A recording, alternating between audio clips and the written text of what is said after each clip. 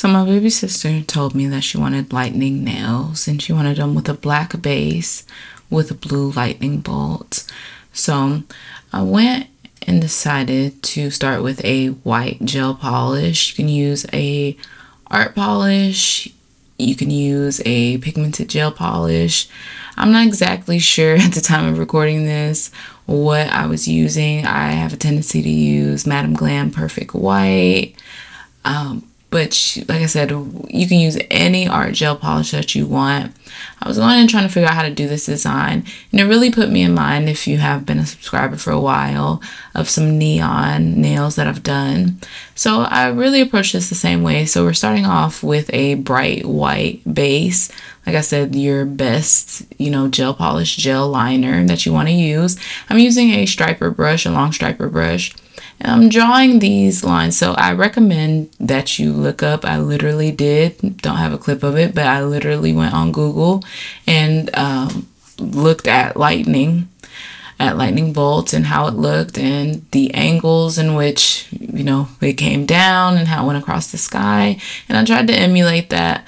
What I found, the mistake that I made, is having the lines too curvy. You don't want to put a lot of curve in the line. You want to have harsh kind of angles, many angles, but you want to make sure they're there. So try to not curve them. You'll see on some that I did too many lightning bolts. It went kind of like eyeliner.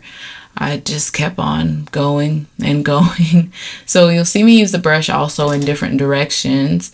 Um, again, that's in hopes of getting those angles. So you'll see me kind of backstroke at some points. And this finger really looks like coral or something, but we went with it. Now we're going to use Milk Bath, and this is from Daily Charme. You can use discount code Tabytha and the number 10. Information will be in the description bar. And once we cured that initial bright white, we're taking this, this Milk Bath color, and I'm using a medium striper brush. I'm using this one particularly because it's a little bit wider, and that's what we want. We want to trace the original lines that we had, but we want to trace it wider. And this is going to give the illusion of a cast of light around it. Now, once we go in on each nail and outline it, we're going to go ahead and cure. You can do this in more steps if you want it to be more elaborate. We can do kind of sort of this ombre where we go from bright white, uh, medium white, if you mix the milk bath and a bright white color together, and then you can do the edge with milk bath or even something more transparent. Again, you can look up my neon nails. I'll put that in the description bar as well. You can check out that video just to see this process done a little more elaborately. So after I went and outlined with Milk Bath, I cured.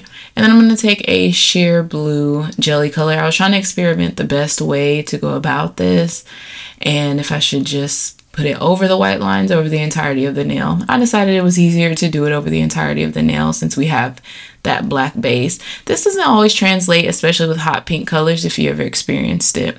So this color is Heartbreaker from Madame Glam. There is a discount code in the description bar as well and you can shop with the link so i'm just taking and applying this color all over and i'm managing how sheer this color is based on the angle of my brush if you hold it at a higher angle you have more sheer color less um, gel output.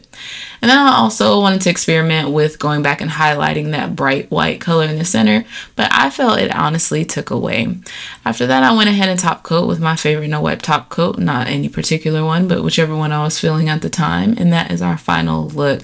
Go ahead and comment a lightning bolt emoji and let me know if you're going to try out this look. And if you do, don't forget to tag me on Instagram, Tabytha Scott underscore nails. I want to thank you guys for watching. Don't forget to subscribe and thumbs up. Bye.